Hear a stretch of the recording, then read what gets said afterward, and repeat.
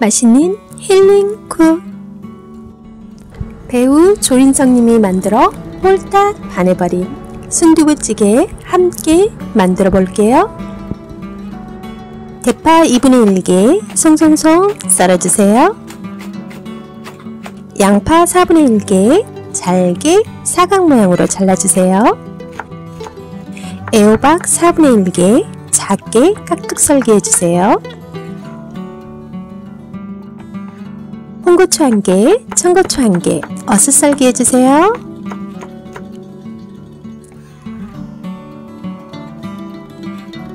식용유 한 스푼, 참기름 한 스푼 넣은 후 양파와 대파를 넣어 볶아주세요.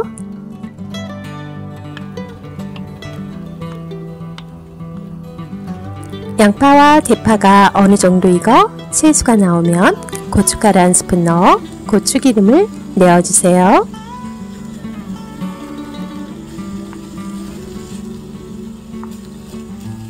고추기름이 만들어지면 물 200ml를 부어주세요. 조개 10개 정도를 넣은 후 2분 정도 끓여주세요.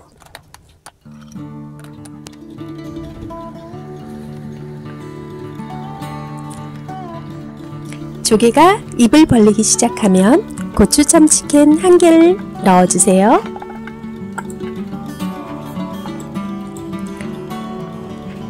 썰어두었던 애호박을 넣어주세요.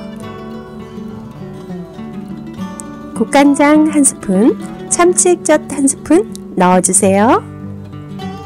썰어두었던 홍고추, 청고추와 다진 마늘 한 스푼 넣은 후 부족한 간은 소금으로 해주세요.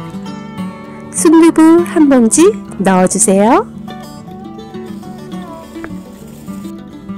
순두부 사이사이를 잘라 양념이 배어들 수 있도록 해주세요. 계란 한 개 톡 깨뜨려 넣은 후 보글보글 끓기 시작하면 맛있게 드세요. 영상이 마음에 드셨다면 힐링쿡 구독구독